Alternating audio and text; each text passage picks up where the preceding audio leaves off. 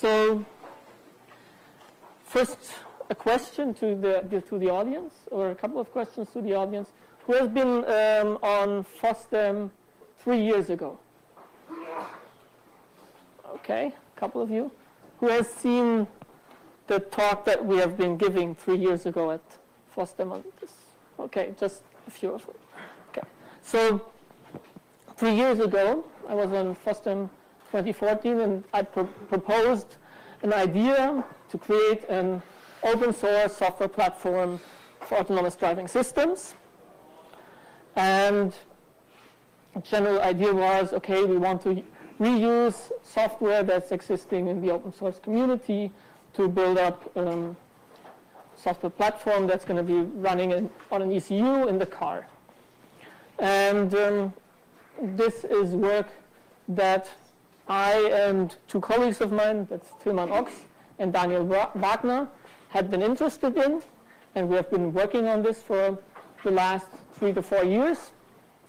And we can now say that we're at some point that we have some first insights, some first results, how the project uh, worked out, how, how it might continue. Right? So the, the title on the internet was um, Success and Failures in Building Such an Open Source Software Platform. Um, I changed the title, make it a little bit shorter, and I changed the word failure to difficulties. failure is only when you give up, right? So we haven't given up, but there are some difficulties that we still have to overcome. So um, who am, am, I doing this for? So I'm working for a company, BMW Car IT, that is a substitute, a, a subsidiary of the BMW car company. It focuses on software development. Um, we actually consider a vehicle not as something from metal and plastic and so on, but actually just as a very small distributed system that happens to be running on four wheels, right? So it's just a simple distributed system, and you can do all the software development that you know in such a system as you would do it in an IT system. Um, we use um, various open source software. Uh, we participate in, in, a few open source communities in our area and uh, contribute back our, our uh, work in, that, in these communities. And this company asked me four years ago, so how will the future ECU for autonomous driving look like? And that was our basic motivation in 2013. What are the, what's the technology that we're going to use when we want to build such an ECU? And this is what we call a software platform. Right? So if you look into the automotive industry, there's actually for autonomous driving, you'll have two classes of software functions.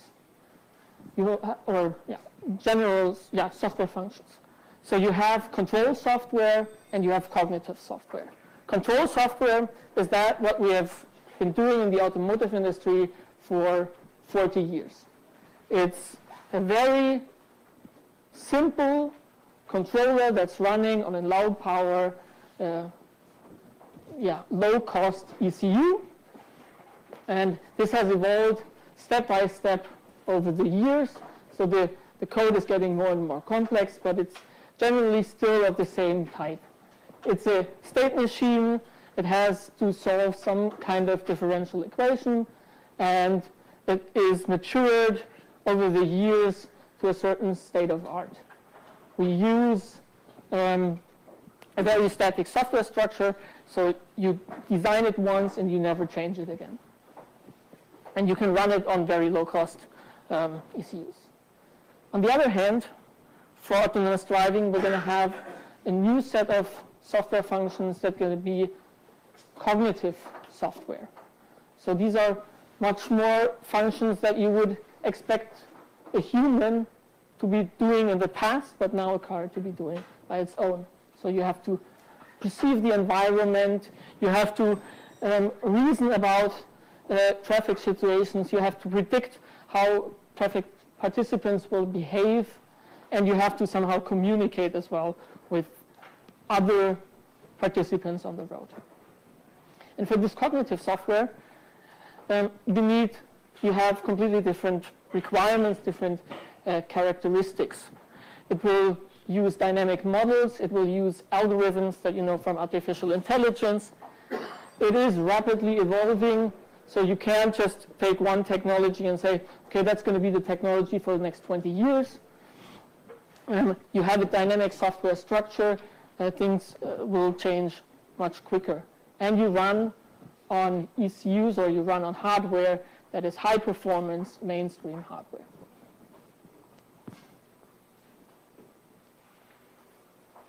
Okay. So there are, in fact, two key use cases that you have to consider when you want to build such a software platform. The one is that you have this high performance computing. This means that we will have, um, we want to decouple the application software development from the hardware technology. And the hardware technology that we're thinking of is some typical that typical soft hardware that you would call, um, know from desktop computing. So right, we have x86 architectures, we have GPUs, we have FPGAs, we have certain uh, DSPs, uh, we have a DRAM, we have NAND flash, uh, NAND flash, and all of this is in one ECU. And you want to decouple application development from that. A general thing that you also have in desktop computing. Second thing is that we will develop the software and um, while, while the, the software is actually put into a product, we have to find out what are possible failures. We have to improve the software as is as actually put in the field. Right? It's, in the beginning, we will have um, functionality that has to be observed by the driver, but we want to continuously go up and up in our confidence to the point that some point we can say, okay, the driver is out of the loop. But for that, we have to improve the software over time in, in a running fleet. And these two um, use cases motivate a completely new software architecture. So the uh, software architecture that we came up with is roughly as follows. You use Linux as an operating system. You want to use some kind of communication middleware that offers you um, some kind of dynamic connection of components and um, the usual patterns of sender receiver and uh, remote procedure call. So something that you might uh, know um, from MQTT. Um, and then you have certain functionality that's more or less automotive specific. And as this is non-differentiating, you could do it as an open source software. So our primary assumption was we have a, we have a software platform that provides the basic functionalities that you need in ECU, and this is open source because it's not visible to the customer, right? And it's not um, it's not di differentiating. Um, so we do it as open source.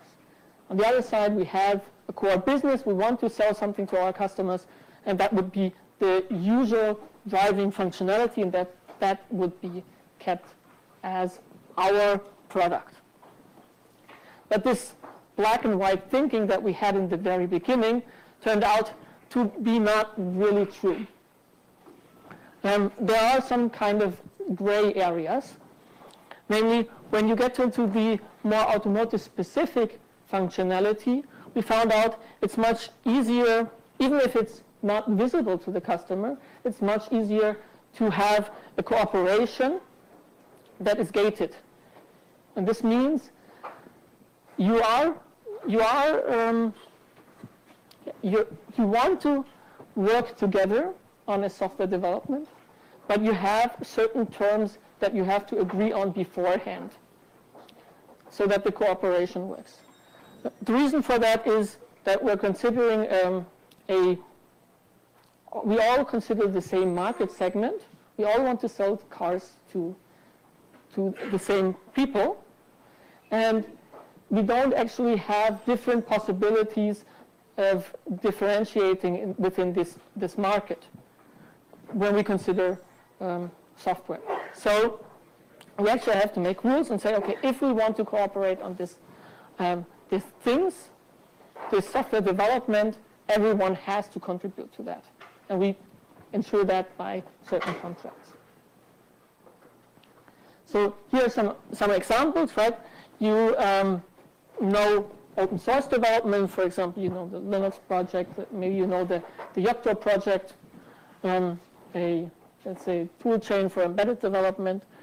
Um, like we have a gated cooperation in, within, uh, within the automotive industry, that's the AUTOSAR development partnership, and we have core business functions that you can more or less buy in our products. It's like remote control parking or driver assistance systems.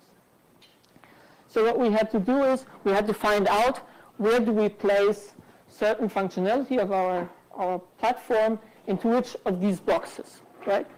And as we, as we had these discussions internally and with partners, we've actually found out, well, for the operating system of this platform and the isolation mechanisms, we actually can work together. There's a large market. We can use open source. We can contribute to open source. On the other side, we also imagined that you could do some kind of vehicle-wide software update.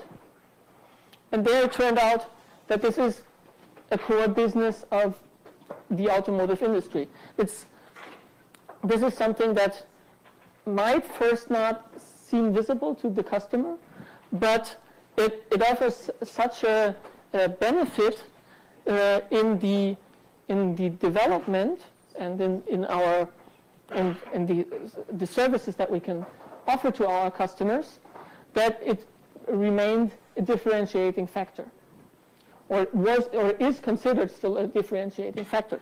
So a vehicle-wide software update functionality um, is in most companies a core business and internally. And then we have other things like model-based development, diagnostics, and the communication middleware um, that was more or less developed in this gated community. Because um, for um, diagnostics and model-based development, it, the automotive industry is the main um, user, the main participant of that development. For the communication middleware was kind of difficult. Um, it could have been open source, it could have been uh, the gated cooperation, so it's still open which one it will be.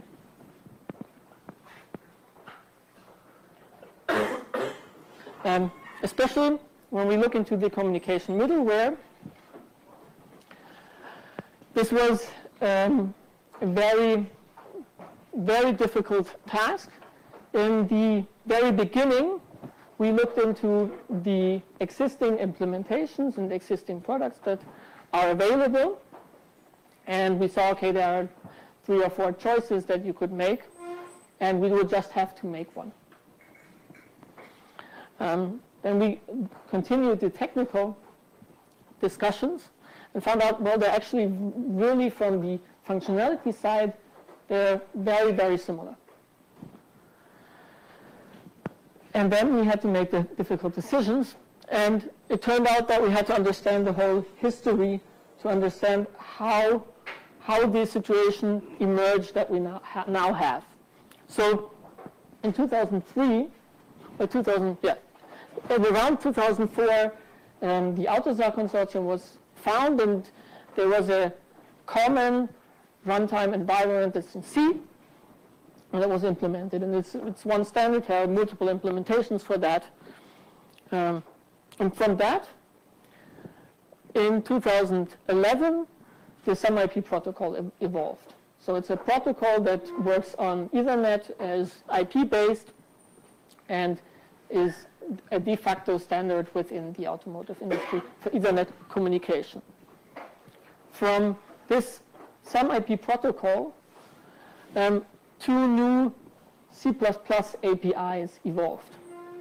The one evolved in around 2013, that's a Common API C++, It's developed within the GENIVI community. It's an open source product. And in 2015, um, they started within AUTOSAR another API, adaptive AUTOSAR communication API. Um, again, C++, similar functionality, similar feature set.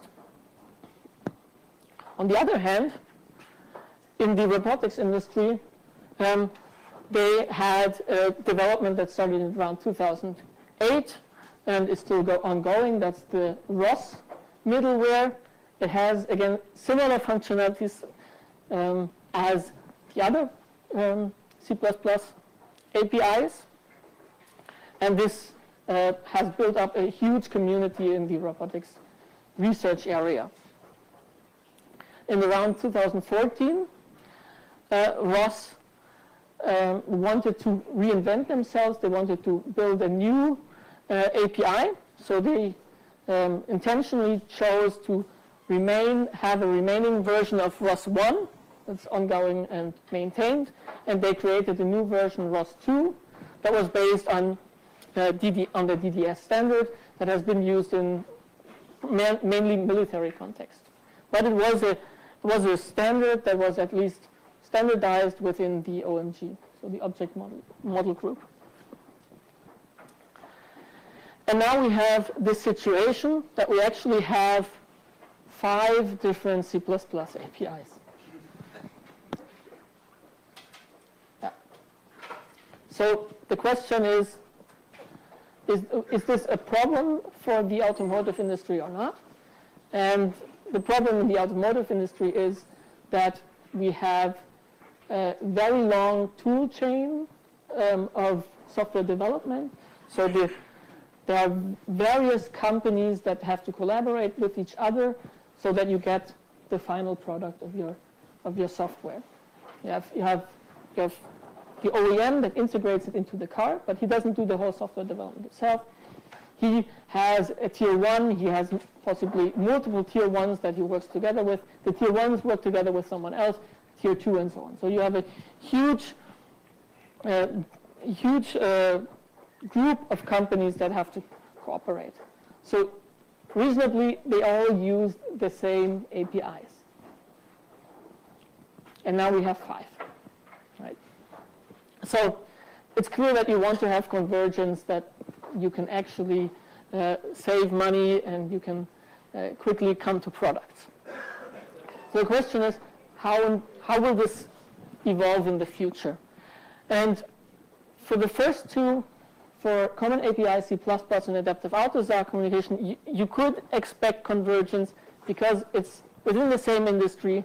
It's actually the same development company, right? So BMW is involved in the development of Adaptive AUTOSAR, and BMW is involved within the development of Common API C++. So if people within one company can figure it out, it would converge. Right? It is based on the same protocol, and it uses similar terminology. That's already good for, for people, right? When one person speaks about a channel and the other one knows, okay, channel means this, right? Um, similarly, ROS1 and ROS2 have evolved from the same company, and then convergence is actually intended by design. They wanted to try something new out, that's why they called it ROS2, but they intend, once it's in a stable state, that they all uh, move the whole ecosystem from 1 to 2.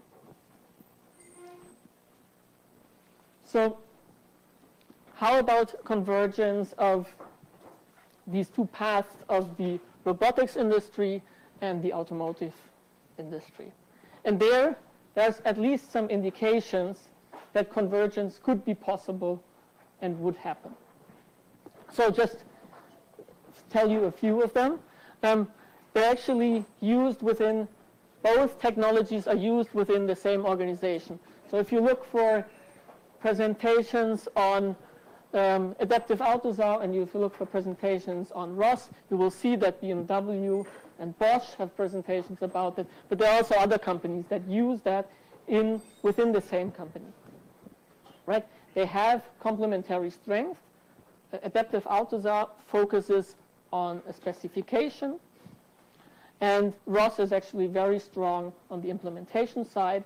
They have wide support for different programming languages, and they have a, a, a great tooling environment. Also, we have a possible adoption through the next gen generation employees. So ROS is used and taught in universities. There are various um, tutorials on the internet, and people learn that um, from the beginning. And the automotive industry is, of course, hiring many people at the moment due to this hype of autonomous driving. So they'll find the many graduates, and they'll probably come with this mind that they have a certain tool already uh, learned in university. And on the technical side, the API design and behavior is actually very similar. They follow very similar design patterns. They have a slightly different service discovery mechanism, but this is probably something that you could overcome. And they have different terminology. Again, there you would just have to find out if it's possible to, to come to the same words for the same mechanism. Yes. So um, I'll just say a few words to, to other aspects that we have considered. So I said we would use Linux, um, Linux operating system as the basis for, for this uh, software platform. And when you think about it, if you want to use it for a uh, for autonomous driving, you have two points that you have to address. How do I do software related, uh how do I do safety related software development, and how do I ensure the real-time property of the system? And we've been involved in both these fields. So if you consider what was the state that we started in in 2013, we actually um, talked to people and they said, well, safety related software development you do in C and you use a dedicated operating system. So if you look at this state now, in 2017, there's actually a lot of discussions and plans to do safety-related software development in C++ 14. So we've moved past this, everything must be in C. And we're working on a, a Linux qualification, a, a safety qualification for Linux, so that we can use Linux in a sa safety-related area. Um, on the real-time side, in 2013, the preempt RT patches from Thomas Gleixner were out there, but they haven't been in the mainline kernel. Everyone could use them, but um, from they, they've never merged into the mainline kernel and had to be maintained um, yeah, out of tree. There was a minimal funding by OSADL to keep this happening, um, but there were no plans for, for mainlining. So now in 2017, uh, the Linux Foundation funds Thomas Gleixner and his team, and they're making this preempt RT mainline. And I think if you find him on the conference, I've seen him yesterday, um, he's probably going to tell you it's going to take one or two years, and then he's going to be done with that. So what has, um, has happened in the last four years? Um, generally, the uh, perception on open source on Linux has changed. Um, so as I had discussions four years ago, people were just saying, well, yes, you want to build this software platform based on Linux. Well, Linux is just not good enough. And now, four years later, this has changed from, well, yeah, Linux is good, but you know, safety, um, it's not good enough for safety. And we have now actually moved even to the point where people say, well, Linux is really good enough for safety systems, but we just don't have a proof yet. So once we have that proof, we could actually move on in that step. But um, the story isn't over, right? We see that there's a lot of work still ahead of us. I mean, the convergence of this adaptive AUTOSAR communication uh, specification and the ROS2 efforts um, is going to be uh, a lot of hard work. Um, it's still unclear how you would actually create a long-term collaborative model for a safety qualified Linux um, so that actually companies can cooperate on a core safety asset and still build their products. And the mainline work on real-time capabilities in Linux is certainly funded by, by the Linux Foundation. And uh, yeah, Thomas Gleixner is, is, is, is, working hard on that, but uh, there's still a lot of work ahead. Yeah, so that's my talk. Uh, any questions?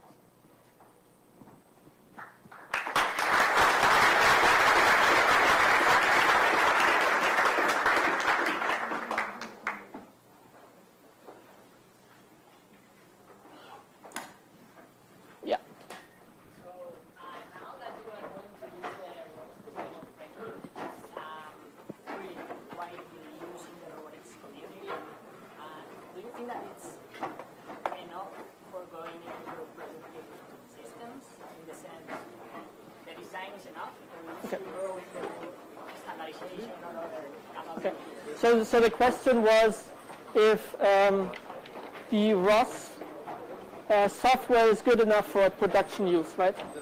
Um, so um, I presented some work um, on ROSCON that um, we would have to, like, if you take the current ROS development, it's not going to be good enough for uh, this software development in, in, in the car.